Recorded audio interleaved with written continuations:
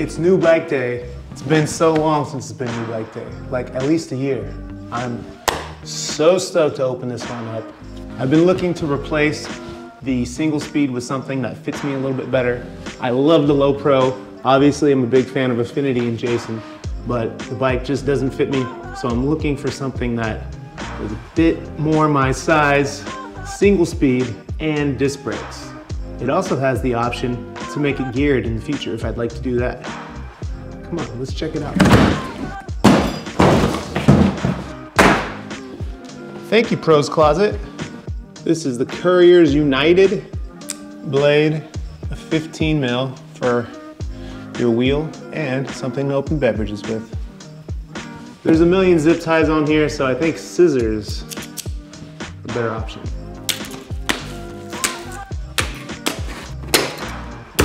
Green zip ties. Rare breed. It's not as easy as uh, the video I saw Dustin get. He got a specialized, uh, some kind of specialized hardtail. All he had to do was put a wheel on. And his had gears. This is a single speed and I gotta put it way more together. Torx wrench, that's pretty cool. A musette, I didn't even know how to say that before. the more you know.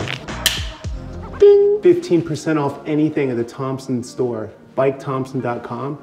Enter in discount code TerryB, no spaces, for 15% off. Bing. The last thing to do, put the front wheel on.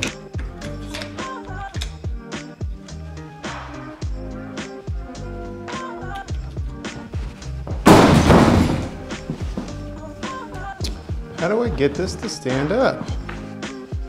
Our friends in Boston over at Ghost Bike Stand just sent this in to me. There's no information, no notes or anything, but I think what you do is,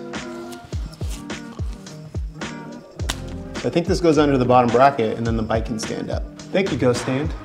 All right, so I couldn't get the Ghost Stand to work properly uh, with my bike.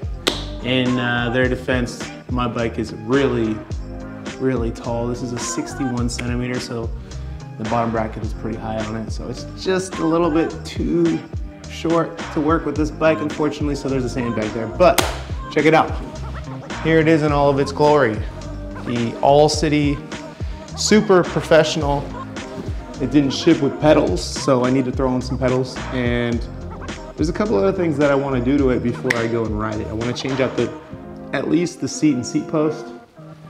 And uh, I might change the stack here on the uh, steer tube. I think that's too upright for me. I want it to be as slammed as possible since this bike is a larger frame and it should fit me just fine. So let's go over the bike. It's an All City Super Professional 62 millimeter setup as single speed. As you can see here, it's a sliding dropout and you can put a derailleur on there to run gears later. It's through axle.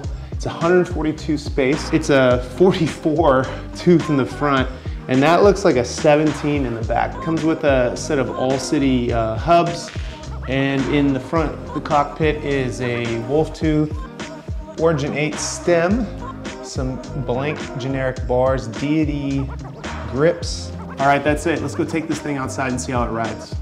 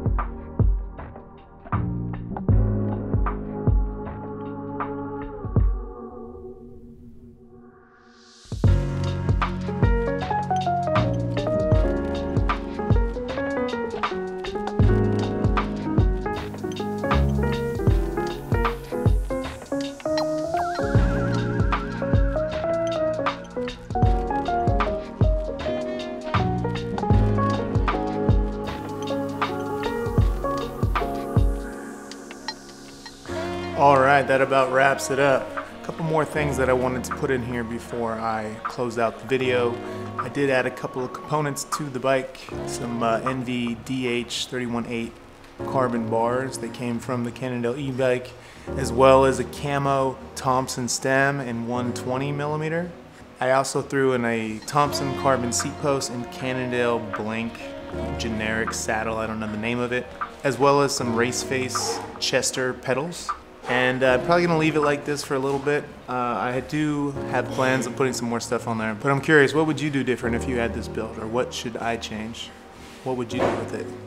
Anyways, ride safe and be well. Peace.